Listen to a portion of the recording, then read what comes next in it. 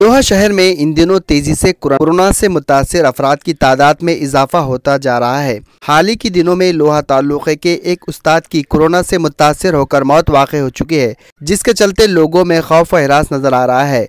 इसी पस मंज़र में लोहा ताल्लुक़े के नगर अध्यक्ष गजानंद सूर्यवंशी, नायब नगर अध्यक्ष शरद पवार, इलाके के तमाम नगर सेवक, ताजरीन मुख्तलिफ़ जमातों के लीडरान ने मुतफ़ा तौर पर लोहे में आज से पाँच दिन, यानी जुम्मा से मंगल तक, जनता कर्फ्यू नाफिज कर दिया है।